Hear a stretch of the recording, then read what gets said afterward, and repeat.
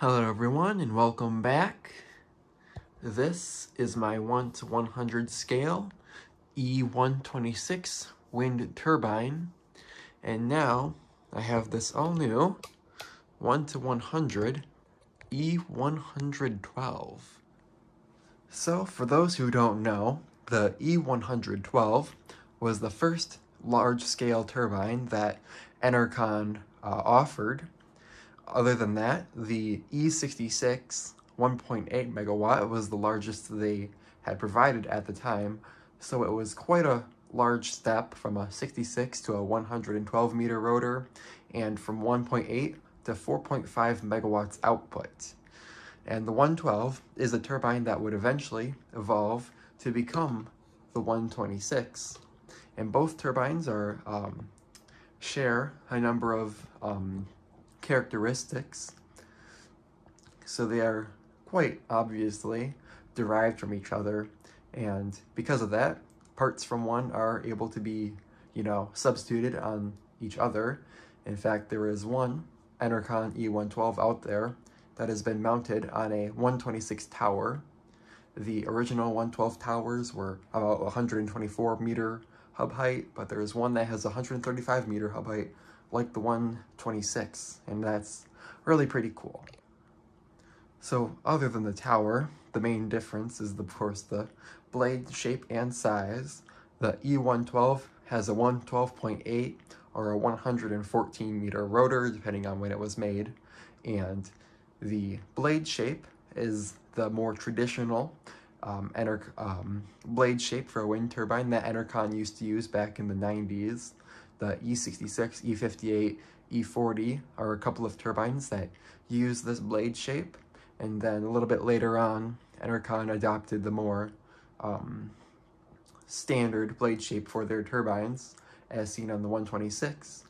But since then, Enercon has um, re reverted back to their original blade shape uh, just to cut down costs, although this blade shape isn't quite as efficient as the um, um, this this blade shape. This one has a little bit more surface area than this one. So the order of the turbines was the original 112, which had a 112.8 meter rotor and 4.5 megawatts output. It was later given a 114 meter rotor and 6 megawatts output.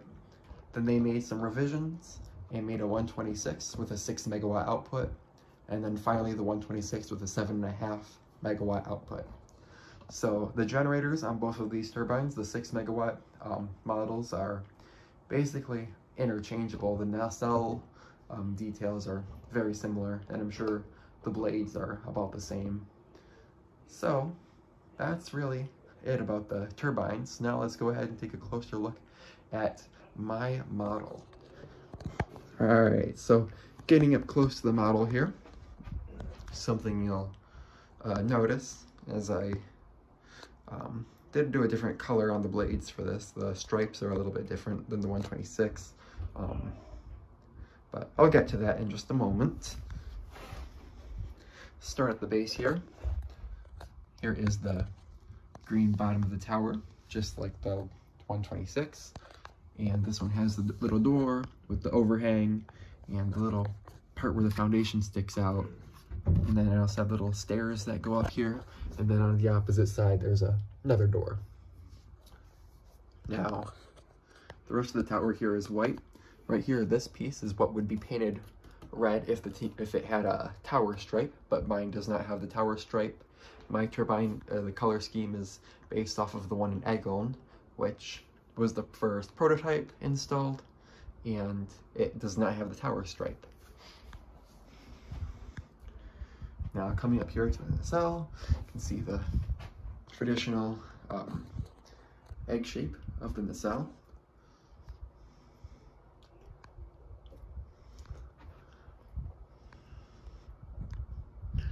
All right.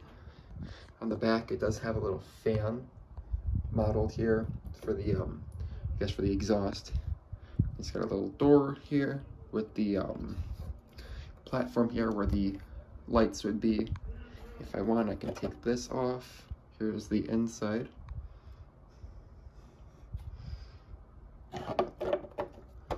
And then the blades on the hub here, just like the 126. Um, has the actual hub on the inside. And then the blade shape on this was kind of tricky to figure out. Um, this blade shape is different than I did for my V162. This is a more accurate blade shape. Um, it's got this flat part on the back here, which um, I hadn't figured out how to model until I started working on this turbine.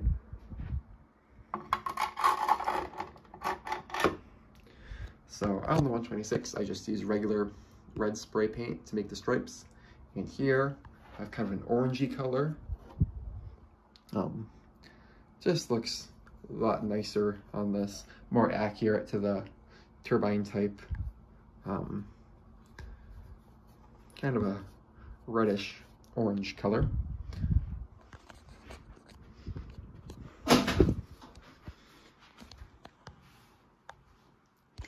There it goes. Now, of course, the blades are able to be pitched, so we'll go ahead and do that. I'll get right back. Here's what the turbine looks like when the blades are pitched out of the wind.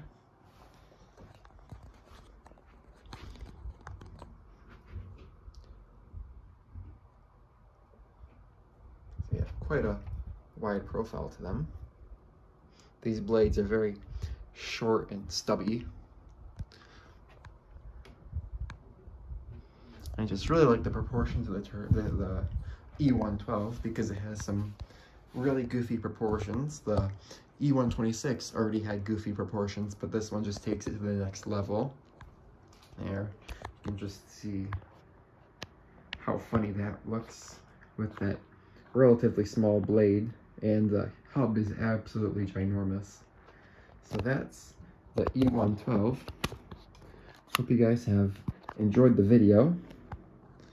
Thanks for watching, and bye for now.